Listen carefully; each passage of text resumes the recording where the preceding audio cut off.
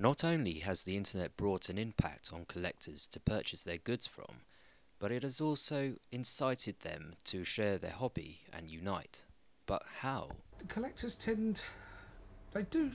Yes, people will tell you about the collection, what they've got, um, but a lot of them tend to do it on the internet. They have forums for particular collectibles. I've actually got quite a few friends on Facebook.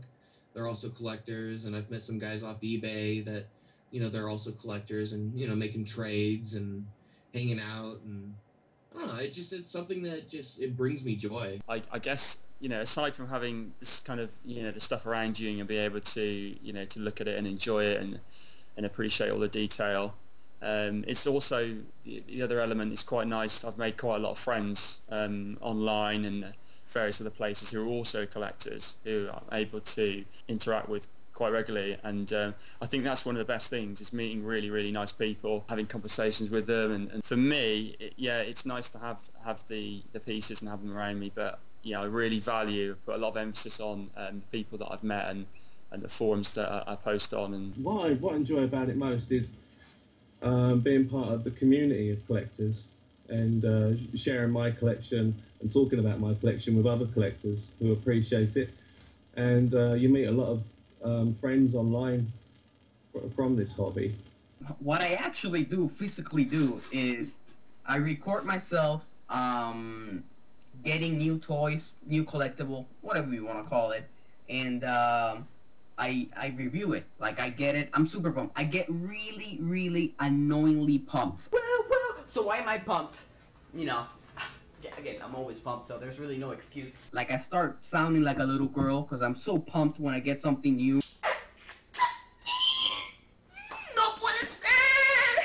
And that's what I do. I record the entire thing. I don't I don't edit. I just record myself being a little girl over this new thing. I open it up. I show people how it comes. If it comes broken, then you see it broken. Uh, god damn it, it is broken. If it comes awesome, then you see it awesome, and I tell you what I think of it.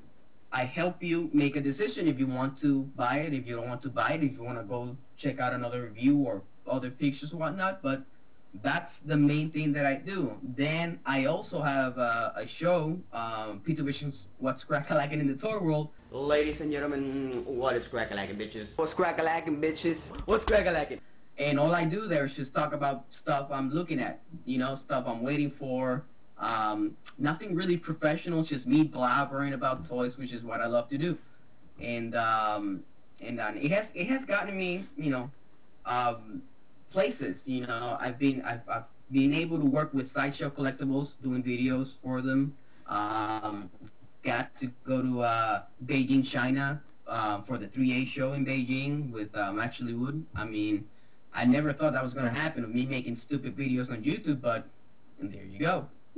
So that's basically what I do. it's kind of like a package because for me it, it progressed into YouTube as well because originally it was just for me for collecting and then I found YouTube and sharing the experience with other collectors and that whole package of, of being involved with other people and doing and showing my collectibles to other people um, it's very satisfying for me you get feedback and sometimes it might be might be bad feedback there might be some people who are keen on some of these characters, but uh, you take the good with, with, the bad, really. Anybody who's on YouTube, they tend to influence influence me as well. Because originally I bought the Arnold Schwarzenegger bus because I saw um, a video of Night Slade. Guys, go get one if you're the fan of Terminator. I mean, this is just unreal.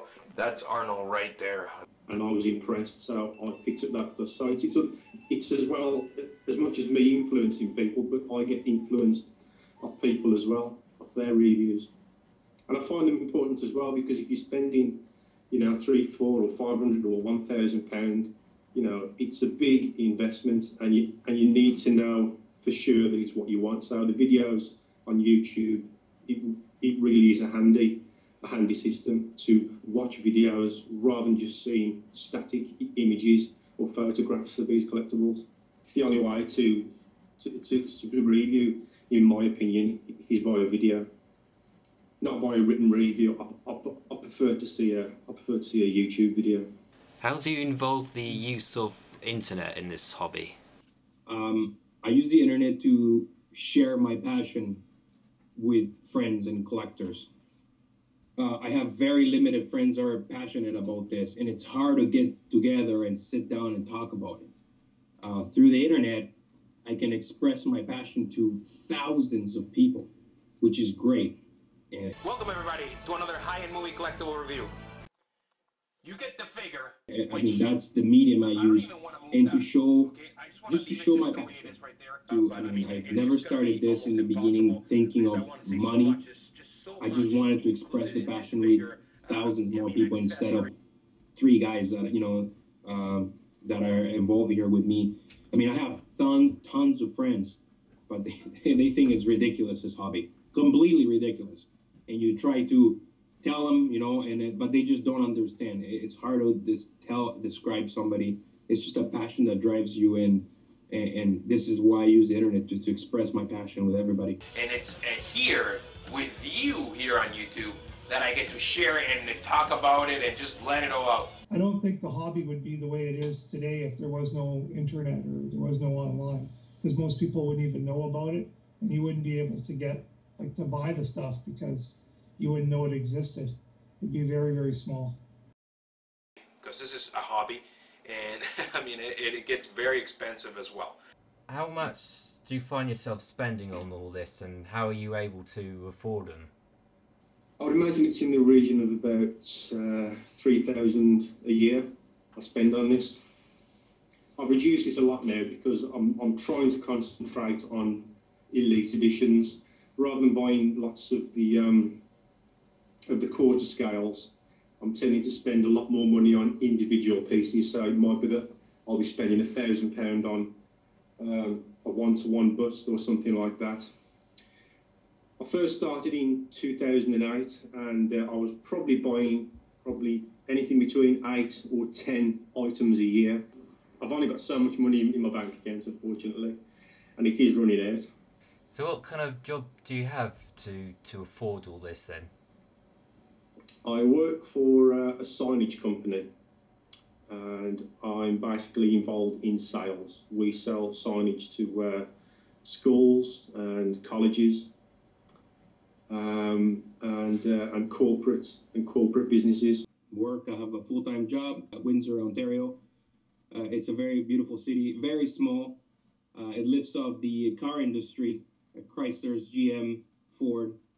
Uh, but I, I used to work for that, uh, for the industry. But I mean, you know, with the um, all the job losses and all that, I move on to the uh, pharmaceutical industry, which is uh, I work for AccuCaps now Industries. It's a great company, and uh, I am not rich, so I have to prioritize what I want. And you know, from working and stuff like that, I put some money aside here and there. You know, I, I say I want that figure. I'm going to target that figure, how much it is, budget it, and put some money towards it. Work extra hours as well too. I work sometimes uh, my work uh, overtime, and I have uh, my cousin has a cleaning business that I help help too. So it takes a lot of work to get these collectibles. You know, it's it's, it, but you know what? It's my hobby, it's my passion. So that's that's how I do it. I started in about um, 1999 with um, small kind of one six scale um, Marvel statues, which were made from uh, polystone, um, and then I kind of graduated on to I say graduated. I started buying other companies' products and different licenses. So I had Transformers stuff, and I had uh, the Marvel stuff. Then I sort of started getting more into uh, movie-related items um, because my sort of big love is movies.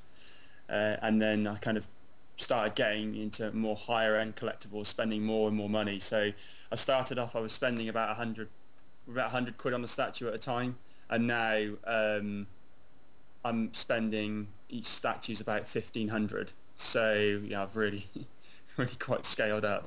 As my income has increased uh, down the years, so too have my, my statue collecting um, habits have, as as well have, have gone up in financial value. So.